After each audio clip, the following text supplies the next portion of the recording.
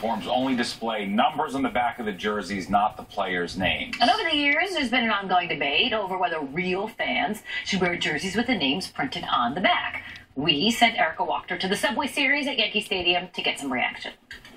Along with their tradition of winning, no names on the back of their jerseys is one thing that sets the Yankees apart. That's what makes them the Yankees. Even though the players themselves don't wear names on the internet, at the MLB shop, and even here at Yankee Stadium, fans can purchase jerseys with names on them. And that detail sparks debate amongst die-hard Yankee fans. They don't wear a name, I don't wear a name. They wear a name, I wear a name. It shows that you're not you're not as real of a fan. I was at Modell's today. It's either the, the name on the back, the name on the back. I made sure there's no name on the back, so I could be just like Giancarlo. When you buy the jersey without the name, you're a true Yankee fan. If you buy the jersey with the name, I don't think so. I'm sorry to say it. But if you look around the stadium on game day, the sheer number of named jerseys is a clear sign most fans don't consider this a big deal. No, I don't think they're less of a fan. I have a, um, an away jersey without a name, and I have a home jersey with Mattingly from when I grew up. As long as it's a pinstripe jersey, I'm happy with it. They're on my side. Well, Todd Frazier may be on the other side now, but back in the Bronx for the first time thanks to the Subway Series,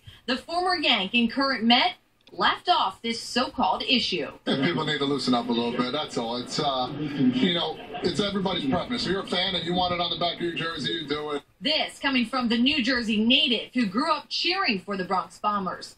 And guess what? When he was in the stadium seats, he sported a name. I had a Paul O'Neill jersey, and uh, I had O'Neill on the back. I, if, I, if I remember, I think it had O'Neill on the back because I want everybody to know, just in case they didn't know, my favorite guy is Paul O'Neill. So uh, I don't know if they made him that way or if I had it had it made that way, but um, yeah, I had to have it like that. At Yankee Stadium, Erica Wachter, Fox 5 News.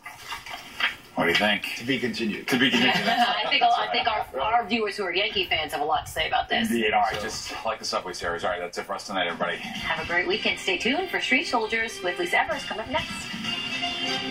Fox 5 News.